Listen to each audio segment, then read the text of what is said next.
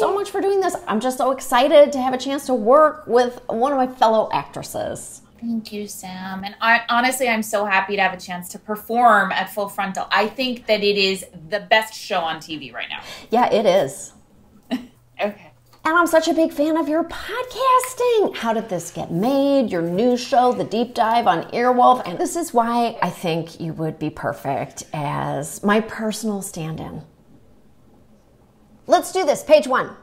Oh, Things go wrong and you can't explain it, you can't predict it. Killing yourself won't bring your dad back. Moving on. And so, was that line from the 1996 movie Twister?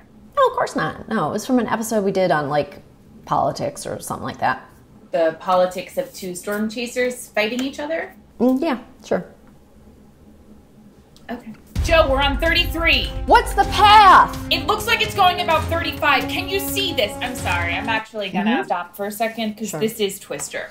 This is definitely from the movie Twister. Would you like to have a problem with Twister? Of course, I don't have a problem with Twister. I love Twister.